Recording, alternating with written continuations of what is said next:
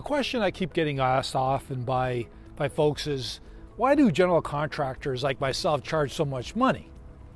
And I, I look at these kinds of questions and I'm like, are you kidding? You, you are kidding, right? You're asking me why I charge so much money for a house renovation?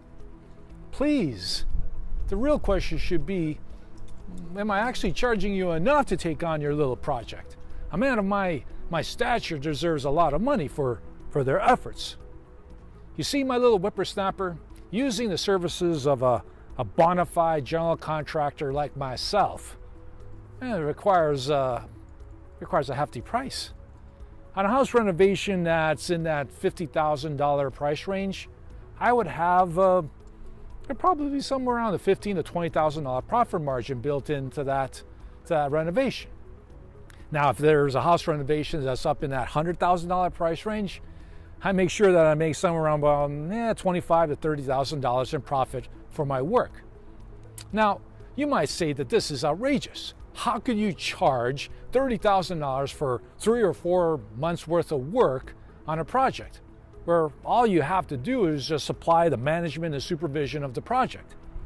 So, but folks, let me explain why I, general contractors have to charge this kind of money. There are costs being there are costs involved in being a general contractor. There's your license and possible training that requires, depending on the municipality and area that you operate in. There's liability insurance and there's other stuff like marketing, bookkeeping, and stuff like that. What about the, the possible equipment, the tools, the, and the staff that I, that I bring to your project as well? What about my vacations in Fiji? The speedboats, the, the sports cars, and all the accoutrements that come with being a general contractor. Someone has to pay for all these things, and uh, I'm afraid that person is, is you. Seriously speaking, $30,000 profit divided over three or four months of, a, of supervision is so works out to being, being around $10,000 a month. Is that a lot of money for someone who takes on the responsibility and liability of a renovation project? I'll let you decide. People need to consider that the life of a contractor, well, it's not easy. Yeah, depending on where you live, weather plays a major part in how much money you can make as a contractor in renovation and construction. Construction slows down dramatically in the winter no matter where you live.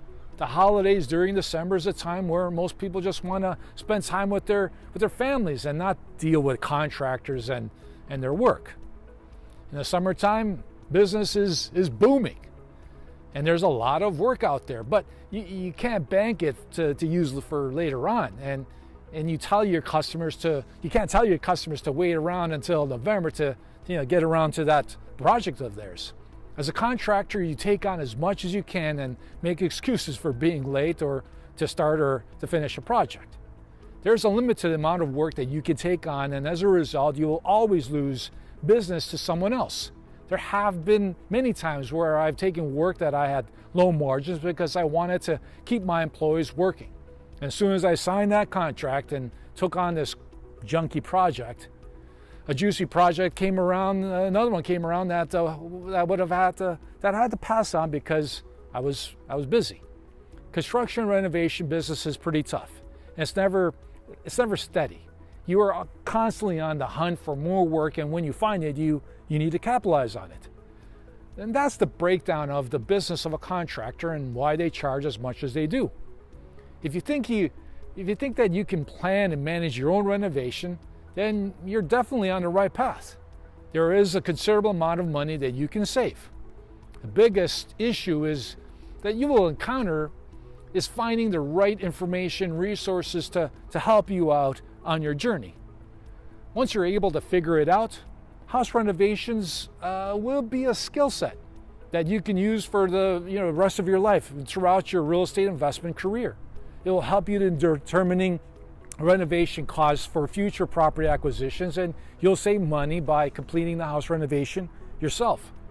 For more information on house renovations, rehabbing, and, and you know, real estate investing, visit www.vansturgeon.com to, to help you in your real estate investment journey.